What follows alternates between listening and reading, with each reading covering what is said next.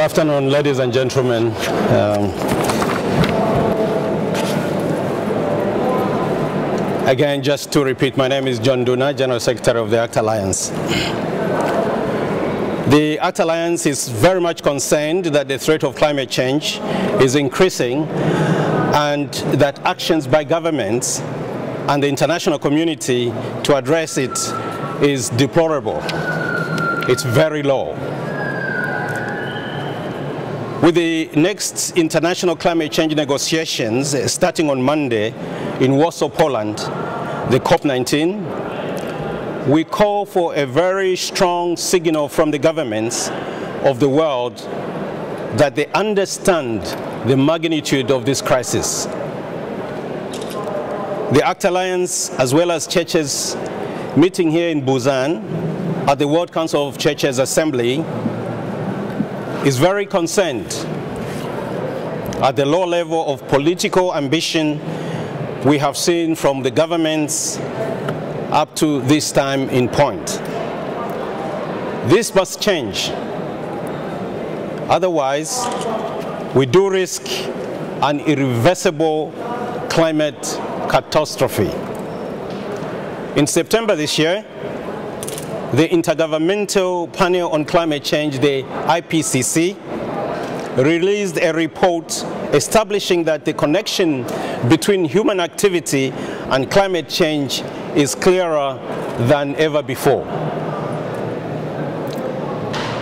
Therefore, ACT Alliance calls for one, that COP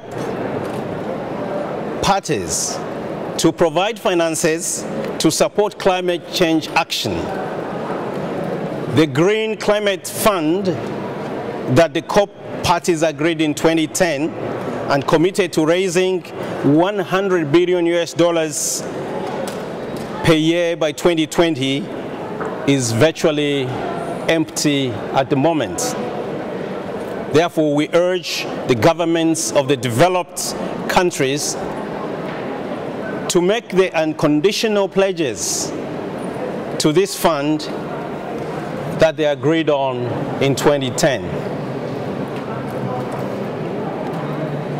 Second, COP19 must establish an international mechanism to address the issue of forced migration as a result of communities losing their land and losing their territories. Something particularly critical for island nations in the Pacific, such as Tuvalu, Kiribati, and others, whose lands are being submerged as a result of sea level rise. Third, the governments must commit to reducing greenhouse gases emissions by the required amount to, to keep global warming to below 2 degree centigrade. This target was agreed in the Copenhagen Accord in 2009, but to date, the pledges that the COP parties have made to reduce the greenhouse gases emissions fall far short of the goal. And the agreement was that 20 to 40% reductions should be made by the IPCC in order to meet the two uh, degree centigrade that I mentioned above. None of the developed countries that have pledged to reduce their emissions have yet achieved their targets. As time passes, the world gets warmer. Ladies and gentlemen, we all know time is running out. COP19 must set the tone and the pace for the 2015 COP21 in Paris, where the world expects a new comprehensive climate change agreement to emerge. failure to achieve this progress, we need in Warsaw next week will be severely jeopardize the ability to reach the legally binding ambition climate change agreement that our congregations around the world so urgently need to see that it is in place.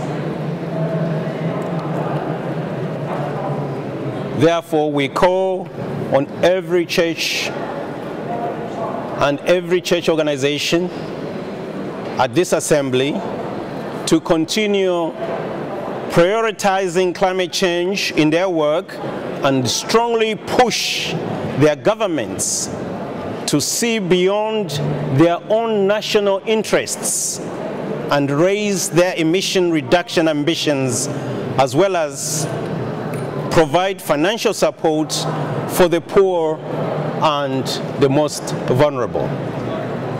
Thank you very much, ladies and gentlemen.